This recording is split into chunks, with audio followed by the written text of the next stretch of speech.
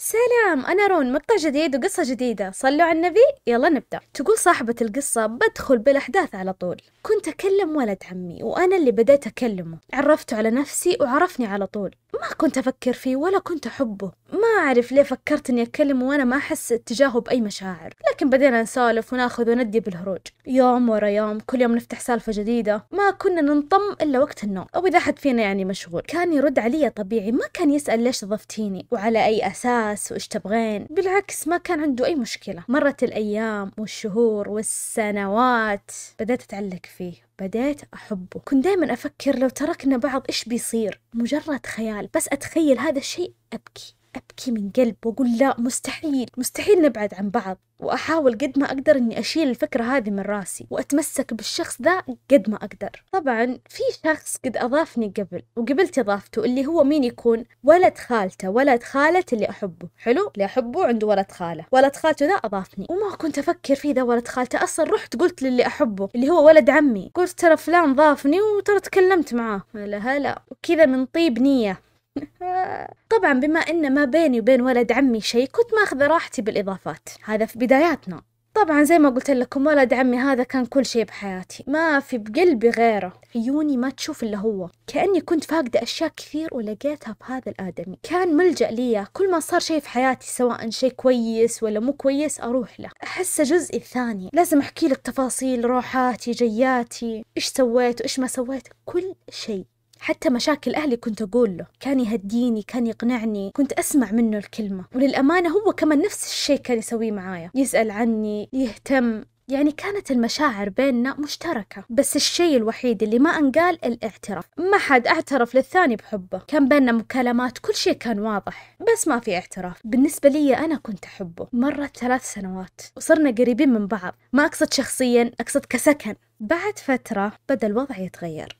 هذه البدايات هذه نصيح إحنا نصيح لمين إحنا؟ هيسمعوا. أحس إنه تغير أحس إنه ما عاد صار يهتم ولا يسأل. حتى لما نطلع طلعة عائلية ما أشوف يطالع فيني. تغيره كان ملحوظ. زعلني هالشي مرة. صبرت وأنا قلبي حاس إنه في حاجة. وأختي وقت الطلعات ماني فاهمة لا نظراتها ولاني فاهمتها. نظرات أختي له كانت غريبة. كانت تطالع فيه أكثر مني. شكيت بيوم من الأيام. كنت جالسة مع أهلي أخذت جوال أختي. على أساس بشوف حساب واحدة من العيلة وهنا تنتهي سهرتنا. لا وهنا كانت الصدمة. شفت حسابه حساب ولد عمي. راسله له رسالة دخلت أتأكد من الحساب وللأسف طلع حسابه جد. انهارت رجعت جوالها وقمت على طول. فيني الصيحة. صيحة صداع غثيان دوخة كلها ذي تجمعت. رحت غرفتي ورسلت له على طول. قلت ليش أختي؟ ما توصل. رد علي بغباء اللي إيش؟ الغباء قتلني وإنما قال لي قتلني. وقلت له أنا ترى شفت وعرفت.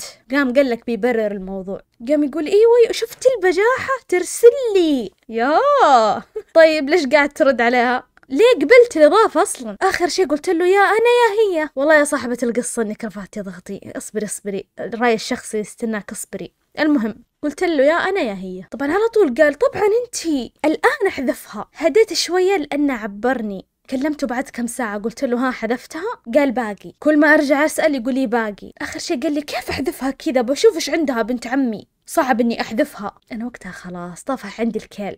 خلاص كل شيء واضح. ما أشوف إيش قاعد يتغير. إلى الآن يكلمها. لازم أتصرف. رحت كلمت اللي يحب أختي. في واحد الحين جديد انضاف واحد يحب أختها. وعلى أساس إنهم مع بعض يعني خلينا نقول إنهم كل العائلة تدري عنهم وزي الخطبة خلينا نقول شيء زي كذا. كلمته وقلت له عنهم إنهم يكلمون بعض. وريته كل شيء يعني أثبت له بالأدلة. علشان ما أطلع أنا كذابة. وقلت له ممكن إنك أنت تحلها أفضل. وعطيته حساب ولد عمي. وعلى أساس إنه خلاص كل شيء ينحل. لكن أختي كبيرة في عينه. وما صدقني. وكلم ولد عمي ومشى على كلامه. جاني ولد عمي وطار بوجهي. قاعد يقول لي كلام أول مرة أسمعه منه. يقول أنت بتجيبي لي المشاكل؟ كل يقول أبعد عنك لأنك تجيبين المشاكل. لحظة لحظة لحظة. يعني أنا الحين صرت حقة مشاكل وابعدي عنا طبعا أنا ماسكة أقرأ الجوال وما أعرف إيش مشاعري. أقرأ هذا الكلام من شخص اعتبرته حياتي كلها. يعني لو صار بيننا شيء بتوقف الدنيا. وللأسف صار. وجاء اليوم اللي قال لي اللي بيننا انتهى. وقتها ما أعرف من مين ألقاها الصدق.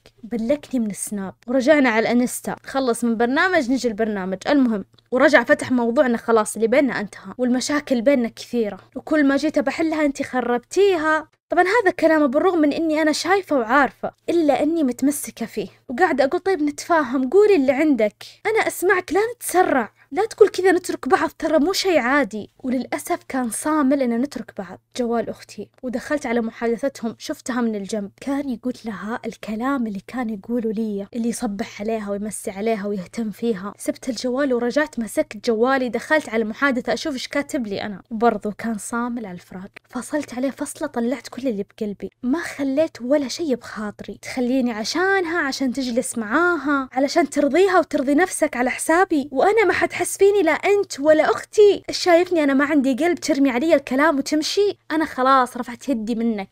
يعني block من هنا تجاهل من هنا. ساعات رجعت عشان أعتذر. أيوة أيوة أعتذر. كان يرفض اعتذاري ويطلع ألف عيب بعلاقتنا. كرهت نفسي أحس أنهنت. دوبك تحسين دوبك. كل ذا لأني أحبه. والشي اللي صار كان صدمة لحياتي. لما استوعبت إيش قاعد يصير وإني فصلت عليه كل يوم أعتذر له على اللي سويته الدفاع لعلاقتنا اهتمامي فيه لأني كنت أبغاه هو لي أنا بس. بس ما يعطيني مجال. فجأة يقول لي تذكرين؟ قبل ما أدري كم سنة؟ قام يفتح مواضيع زمان صارت بس عشان ينهي. يعني قال لك ماسكها في قلبه والآن طلعها. قام يتكلم عن علاقتي بولد خالته واللي أصلا ما أتذكر أصلا من هذا. ما أدري متى أصلا كيف طار من عندي. المهم كلام كلام كلام أعذار بايخة. بلكته وانهيت العلاقة اللي دامت ثلاث سنين ونص. لكن ما انتهى الشعور وخيبة الأمل والثقة والراحة والأمان اللي حسيتها معاه أمان جدي. خيب أملي بكل شيء بالعلاقات. صرت أخاف أثق بشخص أو أحب أحد. للآن عندي أسئلة براسي كيف ومتى وليش. وعلى أي أساس رحت لأختي وكملت عليها. ورجعت أنام من التعب اللي كنت فيه وصحيت. وبدأت أستوعب اللي صار. وقتها لا ليلي ليل ولا نهاري نهار. بس أبكي تعبانة أحلم ما أنام زين. انضغطت ضغط لدرجة إني رحت أكلم دكتورة نفسية من كثر الاكتئاب اللي جاني. عجزت أتقبل سالفة إنه هم مع بعض. طبعا علاقتهم كبرت وأنا أشوف ساكتة ما أقدر أسوي شيء. ماني مرتاحت لهم. بعد فترة قدرت إني أحذف كل شيء خصه طيرتها من كل مكان. أول طلعة طلعنا فيها مع بعض وشفتها بكيت. ما قدرت أمسك دموعي. مرت الأيام. بدأ كل شيء يتغير من ناحيتي. بديت أهدى شوي. نسيته شوية. بعد فترة شلت البلوك.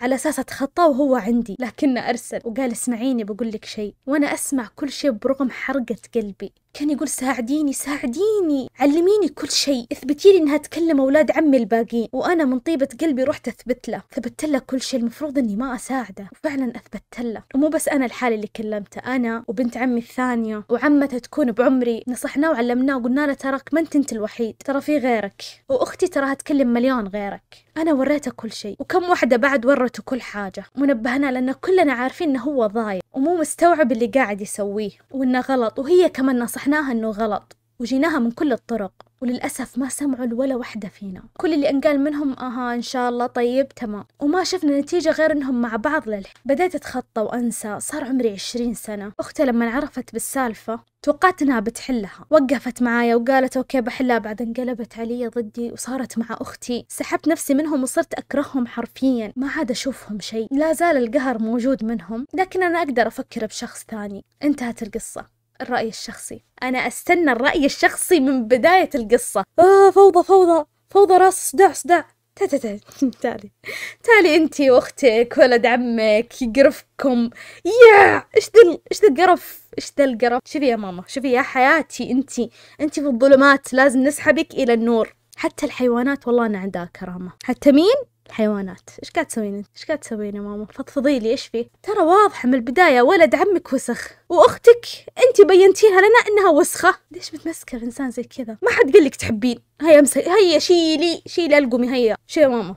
هي قلوبنا مي بدينا. وإذا حبينا الشخص والمشاعر فلتت الله يعين. لكن صحنا ما نقدر نتحكم بمشاعرنا لكن نقدر نتحكم بتصرفاتنا. اللي سويتيه غلط. ليش طيحين من نفسك؟ بعدين لو صارت دي سالفه إلا عن يخير أختك. بس ما تروحين تفضحين بقى. تروحين تثبتين على أختك إنها تكلم عيال عشانه. أصلا ليش تدينا وجه يوم رجع لك مرة ثانية؟ ليش يقول ساعدين؟ يقول ضف وجهك. بدل الخبيثون للخبيثات. يعني لا دا في فايدة ولا أختك فيها فايدة. تجمعوا. انت لسه صغيرة يا ماما. صغيرة. 20 سنة.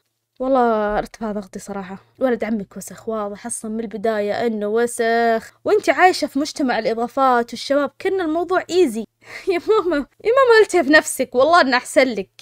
شوف زي كذا بعدين تجين تبكبكين. أحبه ويحبني وبدا يهتم فيني صحيني الساعة سبعة بعدين تجلسين تبكبكين عندنا. لا غلط. لو كتبت لي إن شاء الله أفكر في واحد ثاني. يا بنت اهتمي في نفسك انتي سيب العلاقات دي مال أمها فايدة. صدقيني هذا الطفش هذا الملل كذا يسوي. وقت الفراغ. وقت الفراغ مشكلة. شوفي أنا مع مع والله مع أن أختك حيوانة. حلو؟ حلو. اتفقنا صح؟ ما ينفع تروحين تفضحين بقى عند القذر هذا. ما يصير هذه أختك. يعني إلعن يخيرها بينك وبينها. أنا اللي قهرني والله العظيم. نقول لك اثبتي لي وتروحين تثبتي له. يا إيش ذا؟ صداع صداع والله صداع. القصة مستفزة بشكل غير طبيعي أبدا. أتوقع إلى هنا أنا كفاية كذا علي. لأنه حر وما أقدر أشغل مكيف والقصة ترفع ضغط زيادة. انتهينا. وبس لهنا يكون وصلنا لنهاية فيديو اليوم. إذا عجبكم المقطع لا تنسون تضغطون على زر ال like تشتركون في القناة. مواقع التواصل حقتي تحت حقتي. واضح إني خلاص حقتي تحت في ال description كان معاكم رون.